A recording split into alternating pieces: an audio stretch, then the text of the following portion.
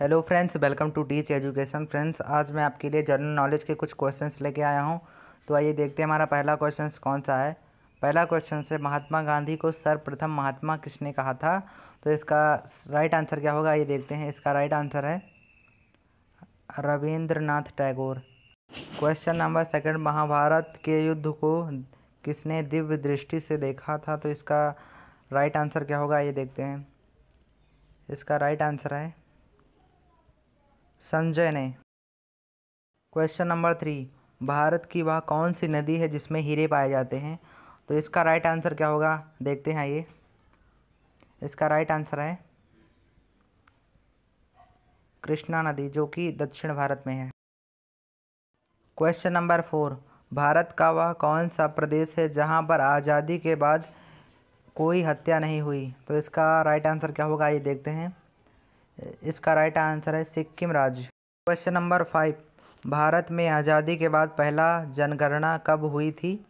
तो इसका right answer क्या है? आइए देखते हैं।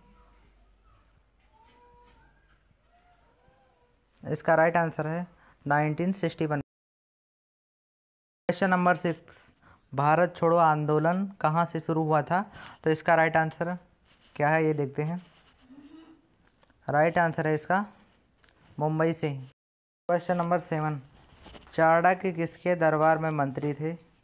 तो इसका राइट आंसर क्या है? ये देखते हैं। राइट आंसर है इसका Chandragupta. Question number eight Shivaji की माँ का नाम क्या था? राइट आंसर है इसका Jijabai. Question number nine Bharat की पहली तेल शोधनशाला कहाँ बनी है? तो राइट आंसर इसका क्या होगा? ये देखते हैं। राइट आंसर है इसका डिगबोई। क्वेश्चन नंबर टेन राष्ट्रपति पद हेतु उम्मीदवार की न्यूनतम आयु कितनी होनी चाहिए? तो इसका राइट आंसर क्या है? ये देखते हैं। राइट आंसर है इसका पैंतीस वर्ष। वीडियो पसंद आए तो वीडियो को लाइक करना चैनल को सब्सक्राइब करना और शेयर करना। मिलते हैं फिर